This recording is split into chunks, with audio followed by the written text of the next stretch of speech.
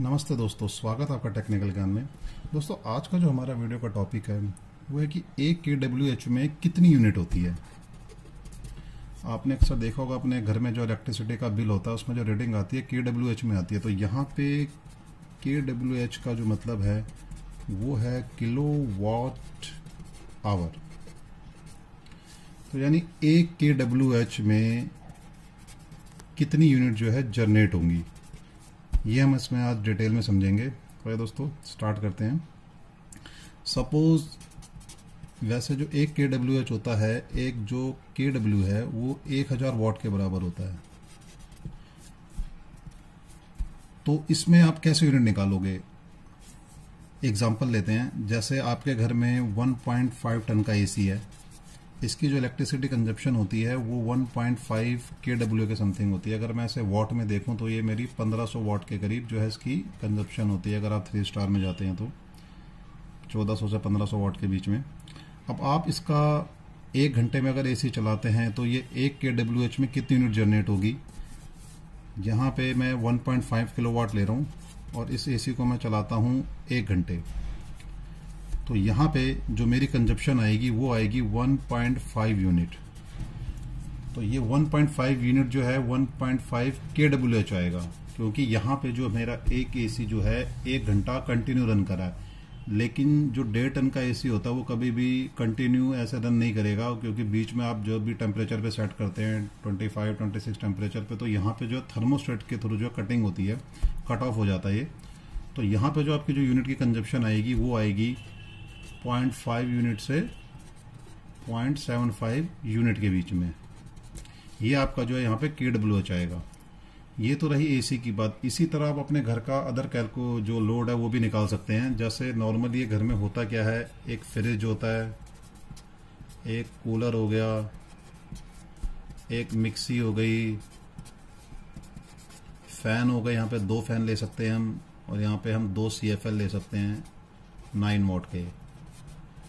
तो ये यहाँ पे जो है क्वांटिटी कम या ज़्यादा भी हो सकती है। जो फ्रिज नॉर्मली होता है, वो 250 वाट की कंजप्शन होती है। कूलर की आपकी 150 वाट की कंजप्शन होती है और मिक्सी की आपकी 500 वाट के समथिंग होती है। फ़ैन के लिए तो हम सत्तर साठ वाट का ले तो यहाँ पर 120 वाट की कंजप्शन होती है। और अगर हम सी एफ़ एल बल्ब में नौ वाट का एक होता है तो अट्ठारह वाट के होंगे। तो हम इसको टोटल कर लेते हैं। यहाँ पे अगर मैं इसको देखो टोटल करूँ तो 250 ये हो गया 150 ये हो गया 500 स्टार्ट से कर देता हूँ। 250 ये हो गया 150 ये हो गया 500 ये हो गया 120 ये हो गया और 18 तो यहाँ पे जो मेरे टोटल जो यहाँ पे वॉट आ रहे हैं, वो 1038 आ रहे हैं। अगर मैं इसको किलोवाट में कन्वर्ट करता हूँ तो हम इसको 1000 से डिवाइड कर देंगे। तो ये आ गया 1.038 के डब्ल्यू अब अगर आप ये जो जितना भी इक्विपमेंट है, ये जो आपके जितने भी फ्रिज कूलर मिक्सी हैं, अगर आप इसको एक घंटा चलाते हैं, या मैं दो घंटे ले लेता हूँ, अगर आप दो घंटे चलाएँगे तो यहाँ पे मैं इसे मल्टीप्लाई कर दूँगा दो से। तो ये आ गया मेरा 2.076 के डब्ल्यू एच आएगा ये। क्योंकि ये तो इसका खाली लोड हुआ। किलोवाट का ये लोड हुआ। 1.038 जो है किलोवाट हुआ। जब ये किलोवाट का लोड कंटिन्यू दो घंटे रन करता है या एक घंटे रन करता है तो ये जो यूनिट जो हो जाती है के डब्ल्यू एच में कन्वर्ट हो जाती है। तो किलो वाट आवर, यानी आपने 1.038 किलो वाट के जो इक्विपमेंट है, ये आपने दो घंटे चलाए तो ये आपके 2.076 किलो वाट आवर, यानी 2.076 जो है आपकी ये यूनिट कंज्यूम हुई। तो ये इसका एक बहुत ही सिंपल सा तरीका है। अगर आपके घर में डेढ़ टन का एसी है, या फिर आपके घर में वन टन का एसी है, या फिर आपके घर में दो टन का एसी है तो आप इससे जो है अपनी यूनिट जनरेट कर सकते हैं। अगर आप डेढ़ टन का निकाल रहे हैं तो आप इसमें पॉइंट फाइव से लेके पॉइंट सेवन फाइव के बीच में लेंगे, क्योंकि इसमें एसी जो कट ऑफ़ होता है। तो इस तरह जो है आप जो है अपनी यूनिट निकाल सकते हैं। यहाँ पर मैंने दो घंटे लिया है, आप इसको तीन घंटे भी ले सकते हैं। चार भी ले सकते हैं, आठ या दस घंटे ले सकते हैं, उस तरह आपको जो है अपनी यूनिट जो है निकाल सकते हैं।